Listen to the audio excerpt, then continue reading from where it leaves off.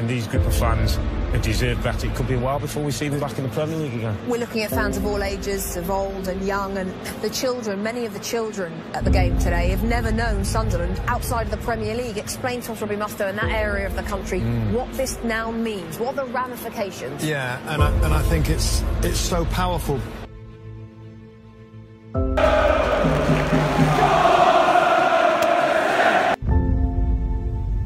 Every single player whole round collectiveness, including Lee Johnson. Absolutely shit show today.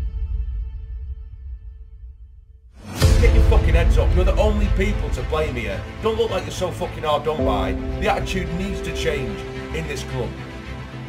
It's far too, as I said in my intro, it's been far too long since we've had someone with creditable standards at this football club. It's dropped considerably for far too long, and I don't want anyone, anyone whatsoever, telling me that fans are the problem because they're not. They are clearly not. And even and even if they are a bit demanding, yeah, we're in the third tier of English football, man.